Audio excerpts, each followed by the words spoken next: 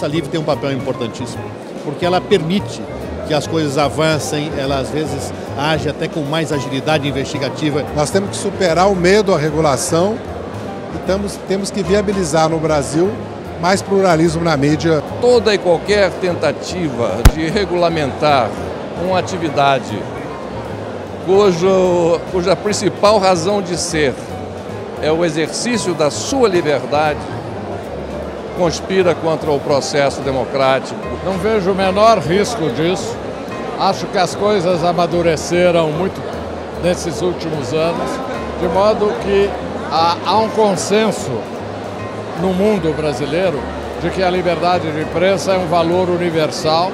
Qualquer tentativa de controle da imprensa cairia no Supremo Tribunal Federal e se saísse alguma coisa, com certeza provavelmente o Supremo Tribunal Federal não permitiria.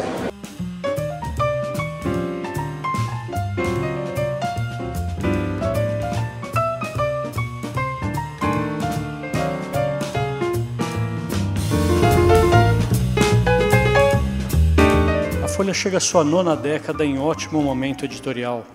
Em 2010, a redação venceu prêmios importantes, entre eles o Prêmio ESSO, o jornal completa um quarto de século na liderança em circulação entre os grandes diários de interesse geral.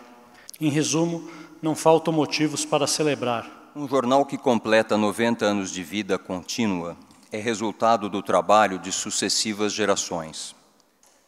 Homens e mulheres, muitas vezes anônimos, que fizeram da Folha o que ela é.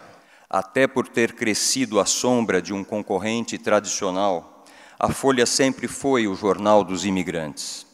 Voltou-se para milhões de pessoas que nasciam ou chegavam a São Paulo dispostas a abrir seu próprio caminho e encontrar um lugar ao sol. A Folha tornou-se um espelho dessas pessoas. Incorporou sua inquietude, seu arrojo e suas ambições. Cresceu até emergir como um dos principais grupos de comunicação do país líder no jornalismo diário e líder também na fronteira da internet. Peço que aceitem a incumbência de continuar sendo fiscais, hoje e amanhã, dos compromissos da Folha com o jornalismo, com a democracia e com o desenvolvimento do Brasil. A multiplicidade de pontos de vista, a abordagem investigativa e sem preconceitos dos grandes temas de interesse nacional constituem requisitos indispensáveis para o pleno usufruto da democracia, mesmo quando são irritantes, mesmo quando nos afetam, mesmo quando nos atingem. E o amadurecimento da consciência cívica da nossa sociedade faz com que nós tenhamos a obrigação de conviver de forma civilizada com as diferenças de opinião. Um governo deve saber conviver com as críticas dos jornais para ter um compromisso real com a democracia.